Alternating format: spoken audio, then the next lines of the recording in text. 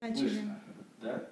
Ну, Степан, вот мы с вами оба эксперты на этом форуме Сургутском. Вот э, действительно, может быть, какие наблюдения есть интересные вот о Томасийском округе, о Сургутском районе. Вот какие, может, инсайты пришли? Просто вот. Ну, инсайтов нет, а наблюдение просто подтверждается, на мой взгляд, мой тезис о том, что, наверное, чем дальше от Москвы, тем лучше люди. Тем больше людей.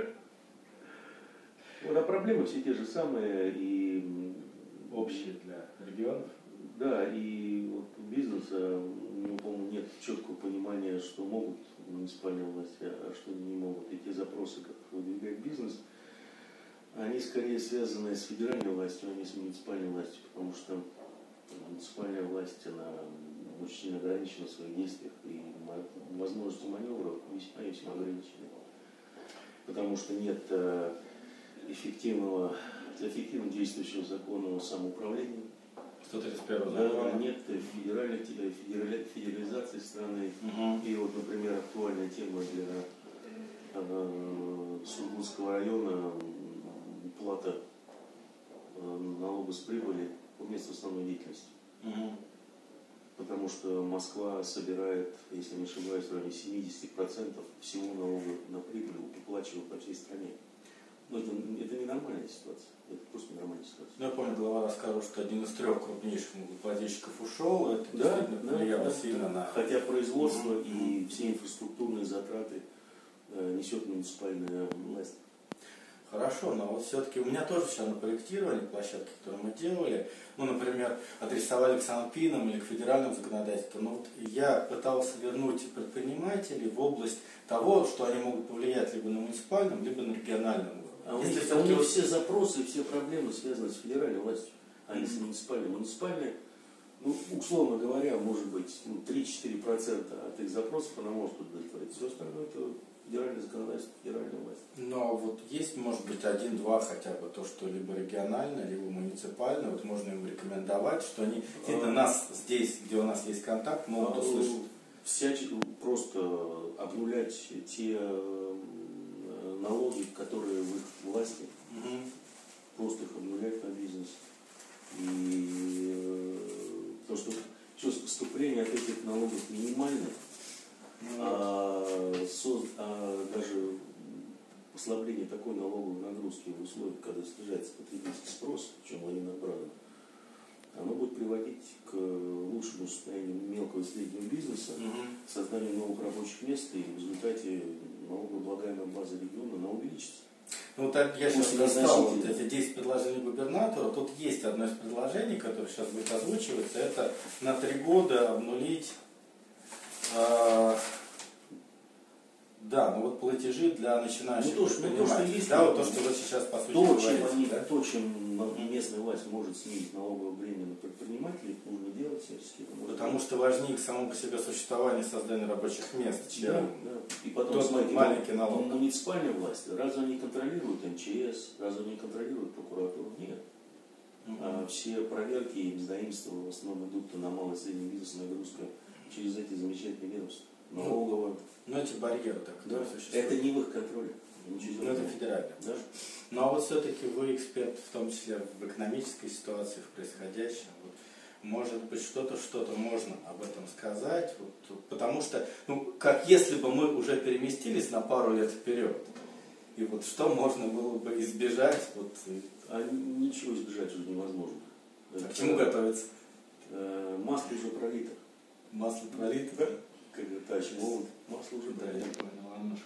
Аннушка пролила масло, все. И действительно, то есть, по-вашему, детерминизм здесь полный, да, зависимость? Это не по-моему, это вот исторический процесс так развивается. С этим можно ничего не делать. Можно попытаться подселить соломку, но падать все равно придется. Я понял, но здесь получается так, что лучше все-таки, наверное, знать пациента, чем не Чего он умрет, да, да, это помогает. Как? Ну, как в том анекдоте.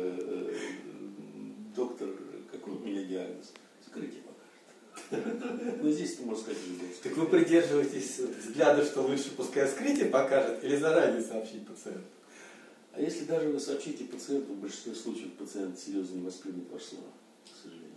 Но мы вот делаем видео, его увидят другие регионы, другие как руководители муниципалитетов, так и, возможно, регионального исполнительной власти. Вот, может быть, для них определенный урок можно или что-то вот порекомендовать им?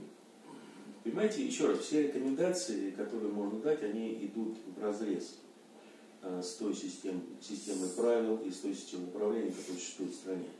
Потому что они основаны на здравом смысле. А система управления, на мой взгляд, в стране, она здравый смысл всячески отрицает, к сожалению. То есть правильно услышал, что то, что происходит, движется по каким-то иным законам, чем... Нет, это все движется по законам жанра, как говорится, да, по законам социодинамики, по экономическим законам. И даже та система управления, которая существует, она сама есть продукт и следствие этих законов. И поэтому с этим бороться в данной ситуации бесполезно. Можно это понимать, можно это изучать э, для того, чтобы как-то избегать острых углов и, общем, жестких падений. Но изменить, к сожалению, уже ничего нельзя. Ну вот мы здесь на форуме говорим, собственно, конечно, и о нормативно-правовых актах, но есть и другие ресурсы, там, человеческий капитал, возможно, по крайней мере, много предложений. Вот здесь губернатору это связано с информационной составляющей, информировать, доносить, предупреждать. Я понимаю. Какие-то еще ресурсы, Я вам просто пример приведу. Mm-hmm. Вот в стране же, если не ошибаюсь, несколько лет назад Эм, очень громко трубили и даже приняли программу по развитию человеческого капитала. Mm-hmm. Было декларировано, что человеческий капитал – наше будущее и тому подобное. Замечательно, где результаты, где эта программа.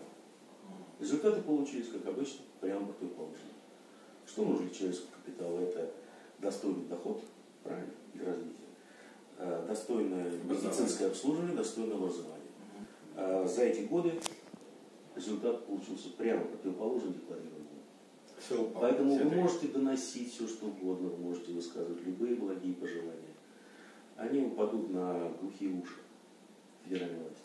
То есть я правильно понимаю, что фактически декларируемо реально они расходятся? Ну, 180 раз обычно. К сожалению, как показывает история. Риторический вопрос, что делать? Э, ответ на этот вопрос э, влечу за собой сразу несколько статей. Леса по волне далеко от.